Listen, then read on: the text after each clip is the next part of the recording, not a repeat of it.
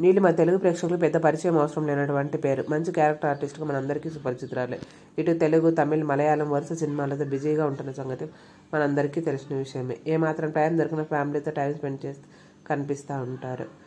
Social మీడియాలో చాలా యాక్టివ్గా ఉంటారు. సోషల్ మీడియాలో తనకు సంబంధించినట్టు ఫ్యామిలీకి సంబంధించినట్టు ఎప్పటికప్పుడు షేర్ చేసుకుంటూ ఉంటారు.